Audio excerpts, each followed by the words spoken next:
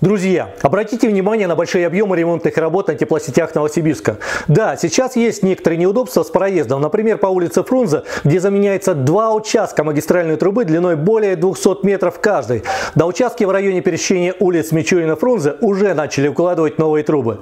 Посмотрите на колоссальный объем работ. Я такого не видел уже более 10 лет. И, друзья, давайте будем с пониманием относиться. Действительно, эти ремонты создают определенный дискомфорт. Но трубы укладывают большими частями частями, а не латает дыры, как раньше, в предыдущие годы. Судя по объемным работам, компания взялась серьезно за теплосети нашего города. А нам всем СГК предлагает участвовать в общественном контроле за ходом ремонтных работ, качественно восстановительных работ и благоустройства.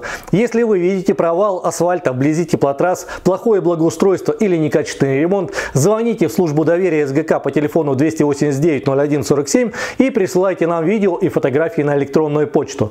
Давайте вместе сделаем наш город красивым и комфортным.